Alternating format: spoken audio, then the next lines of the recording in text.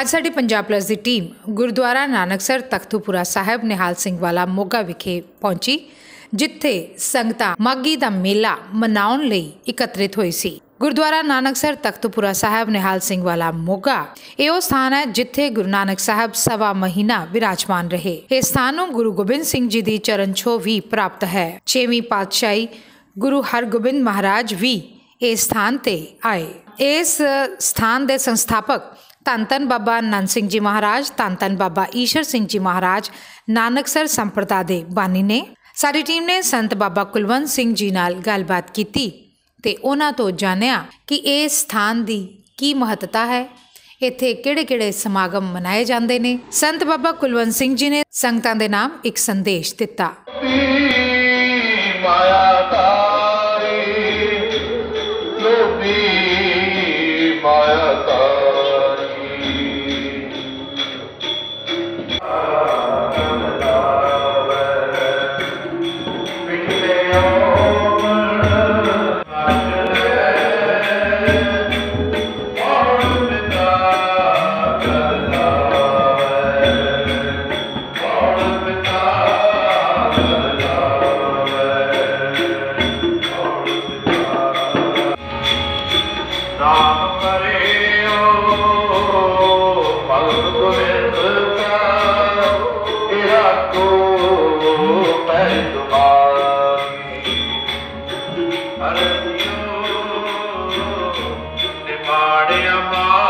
ਦਰਸ਼ਕੋ, Punjab plus channel ਤੇ ਤੁਹਾਡਾ ਸਵਾਗਤ ਹੈ। ਅੱਜ ਅਸੀਂ ਆਏ ਹਾਂ ਉਸ ਪਵਿੱਤਰ ਸਥਾਨ ਦੇ ਉੱਤੇ, ਜਿੱਥੇ ਹਜ਼ਾਰਾਂ ਦੀ ਗਿਣਤੀ ਦੇ ਵਿੱਚ ਲੋਕਾਂ ਨੂੰ ਸ੍ਰੀ ਗੁਰੂ ਗ੍ਰੰਥ ਸਾਹਿਬ ਦੇ ਲੜ ਲਗਾਇਆ ਜਾ ਰਿਹਾ ਔਰ ਮਹਾਪੁਰਖ ਜਿਹੜੇ, ਖੁਦ ਜਿਹੜੇ ਇੱਥੇ ਸੇਵਾਵਾਂ ਦੇ ਰਹੇ ਨੇ।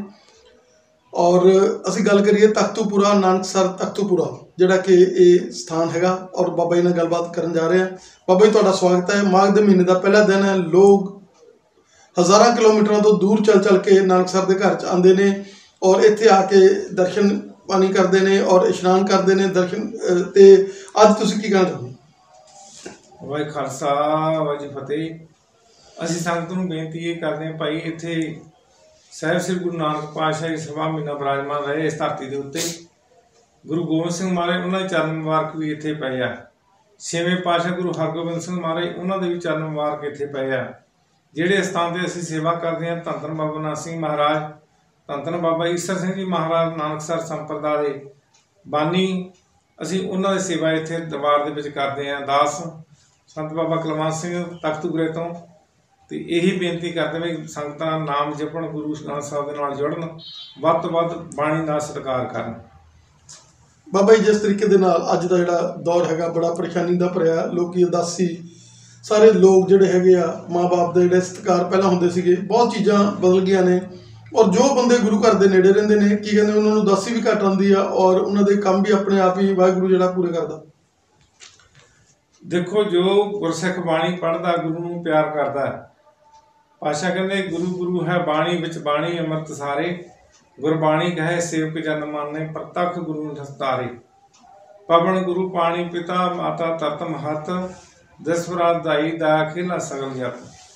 ਜਿਹੜੇ ਵੀ ਗੁਰਬਾਣੀ ਨੂੰ ਪਿਆਰ ਕਰਦੇ ਉਹ ਆਪਣੇ ਮਾਤਾ ਪਿਤਾ ਨੂੰ ਪਿਆਰ ਕਰਨਗੇ। ਆਪਣੀ ਮਾਤਾ ਨੂੰ ਵੀ ਪਿਆਰ ਕਰਨਗੇ ਆਪਣੇ ਪਿਤਾ ਨੂੰ ਵੀ ਪਿਆਰ ਕਰਨਗੇ ਤੇ ਉਹਨਾਂ ਦਾ ਬਚਨ ਮੰਨਣਗੇ ਸਤ ਕਰਕੇ। ਬਾਬਾ ਜੀ ਇਸ ਪਵਿੱਤਰ ਸਥਾਨ ਤੇ ਕਿਹੜੇ ਦਿਹਾੜੇ ਬਣਾਏ ਜਾਂਦੇ ਆ? ਉਹਦੇ ਬਾਰੇ ਕੀ ਕਹਿਣਾ ਚਾਹੋਗੇ? ਇਸ ਦਿਹਾੜੇ ਇੱਥੇ ਜੋ ਬਾਬਾ ਜੀ ਦੇ ਅਵਤਾਰ ਦਿਹਾੜੇ ਬਰਸੀਆਂ ਉਹ ਮਨਾਈਆਂ ਜਾਂਦੀਆਂ। ਜੋ ਗੁਰੂ ਸਾਹਿਬ ਦੇ ਅਵਤਾਰ ਦਿਹਾੜੇ ਆ, ਮਸ਼ਹੀਦੀ ਦਾ ਪ੍ਰਭ ਉਹ ਮਨਾਏ ਜਾਂਦੇ ਇੱਥੇ। ਬਾਬਾ ਜੀ, ਕੀ ਕਹਿਣਾ ਚਾਹੋਗੇ ਕਿ ਲੱਖਾਂ ਸੰਗਤਾਂ ਜਿੱਥੇ ਆਈਆਂ? ਕਿ ਉਹਨਾਂ ਨੂੰ ਅਸ਼ੀਰਵਾਦ ਦੇਣਾ ਚਾਹੋਗੇ ਇਸ ਪਵਿੱਤਰ ਮੌਕੇ ਦੇ ਉੱਪਰ? ਜਦੋਂ ਕਿ ਸਾਲ ਦੀ ਜਦੋਂ ਸ਼ੁਰੂਆਤ ਹੁੰਦੀ ਆ ਔਰ ਲੋਕਾਂ ਨੂੰ ਸਾਰਿਆਂ ਨੂੰ ਮਤਲਬ ਇੱਥੇ ਆ ਕੇ ਇੱਕ ਸਾਲ ਦੀ એનર્ਜੀ ਲੈ ਕੇ ਜਾਂਦੇ ਆ ਉਹ, ਇੱਕ ਸਾਲ ਜਿਹੜਾ ਹੈਗਾ ਉਹਨਾਂ ਦਾ ਵਧੀਆ ਗੁਜ਼ਰਦਾ ਹੈਗਾ, ਕਿਉਂਕਿ ਗੁਰੂ ਤਿੰਨ ਪਾਤਸ਼ਾਹੀਆਂ ਦੀ ਜਿਹੜੀ ਹੈਗੀ ਚਰਨ ਛੋਹ ਪ੍ਰਾਪਤ ਧਰਤੀ ਹੈ ਕੀ ਕਹਿਣਾ ਚਾਹੋਗੇ ਸਾਰੀ ਸੰਗਤਾਂ ਨੂੰ? ਸਾਰੀ ਸੰਗਤਾਂ ਨੂੰ ਇਹ ਬੇਨਤੀ ਹੈ ਵੀ ਗੁਰੂ ਨਾਨਕ ਪਾਤਸ਼ਾਹ ਦਾਰਾ ਗੁਰੂ ਗ੍ਰੰਥ ਸਾਹਿਬ ਬਾਣੀ ਨੂੰ ਮੰਨੋ, ਗੁਰੂ ਗ੍ਰੰਥ ਸਾਹਿਬ ਦੀ ਬਾਣੀ ਨੂੰ ਪੜ੍ਹੋ, ਸੁਣੋ ਤੇ ਬਾਣੀ ਨੂੰ ਵਿਚਾਰੋ ਤੇ ਉਸ ਪੂਰਨਿਆ ਤੇ ਚਰਨ ਦੀ ਕੋਸ਼ਟ ਕਰੋ। ਸਾਡਾ ਫੇਰ ਹੀ ਆਇਆਂ ਦਾ ਸਫਲ ਇਸ ਸਥਾਨ ਦੇ ਉੱਤੇ ਜੇ ਅਸੀਂ ਗੁਰੂ ਦਾ ਬਚਨ ਮੰਨਦੇ ਆਂ। ਪਾਸ਼ਾ ਕਹਿੰਦੇ ਨਾਵਣ ਚੱਲੇ ਤੀਰਥੀ ਮਨ ਖੋਟੇ ਤਨ ਚੋਰ ਇੱਕ ਭੌ ਲੱਥ ਗਈ ਦੋ ਭੌ ਚੜ ਗਏ ਹੋਰ। ਜੇ ਅਸੀਂ ਤੀਰਥ ਤੇ ਆ ਕੇ ਵੀ ਸਾਡਾ ਮਨ ਸਾਫ਼ ਨਾ ਹੋਇਆ ਤੇ ਹੋਰ ਪਿਆਰੋ ਕਿਤੇ ਜਾ ਕੇ ਵੀ ਸਾਫ਼ ਨਹੀਂ ਹੋਣਾ। ਬਾਣੀ ਪੜੋ ਬਾਣੀ ਸੁਣੋ ਬਾਣੀ ਨੂੰ ਵਿਚਾਰੋ। ਬਾਬਾ ਜੀ ਬਹੁਤ ਬਹੁਤ ਧੰਨਵਾਦ ਸਾਨੂੰ ਸਮਾਂ ਦੇਣ ਦੇ ਲਈ। ਵਾਹਿ ਖਾਲਸਾ ਵਾਹਿ ਫਤਿਹ। ਅਤੇ ਜੋ ਵੀ ਸੰਗਤਾਂ ਇੱਥੇ ਨਾਨਕ ਸੰਪਰਦਾ ਦੇ ਵਿੱਚ ਆਉਂਦੇ ਆ, ਨਵੇਂ ਸਾਲ ਦੀਆਂ ਲੱਖ ਲੱਖ ਵਧਾਈਆਂ, ਤੇ ਇੱਥੋਂ ਵੀ ਇਸ ਮਾਰਗ ਦਾ ਸ਼ੁਰੂ ਹੁੰਦਾ ਜੀਵਨ ਮਾਰਗ, ਜੋ ਕਿ ਸੰਗਤਾਂ ਨਾਮ ਜਪਣ, ਸਿਮਰਨ ਕਰਨ ਵੱਧ ਤੋਂ ਵੱਧ। ਗੁਰੂ ਨਾਨਕ ਪਾਤਸ਼ਾਹ ਦੀ ਕਿਰਪਾ ਮਿਹਰ ਰਹਿੰਦੀ ਹੈ ਵਾਹਿ ਖਾਲਸਾ ਵਾਹਿ ਫਤਿਹ।